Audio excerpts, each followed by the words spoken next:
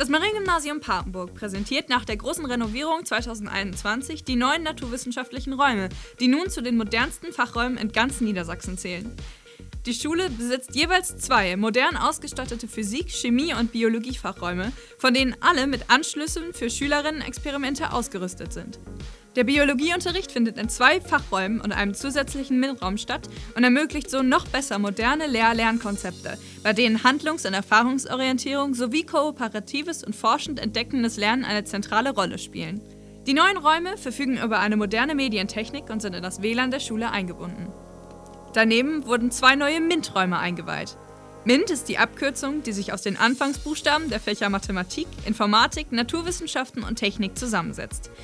Diese neuen Arbeitsplätze können Schülerinnen in Chemie, Biologie und Physik für Arbeitsgemeinschaften, Experimente oder Wettbewerbe nutzen. Sie können dort auch mal etwas liegen lassen und zu einem späteren Zeitpunkt daran weiterarbeiten.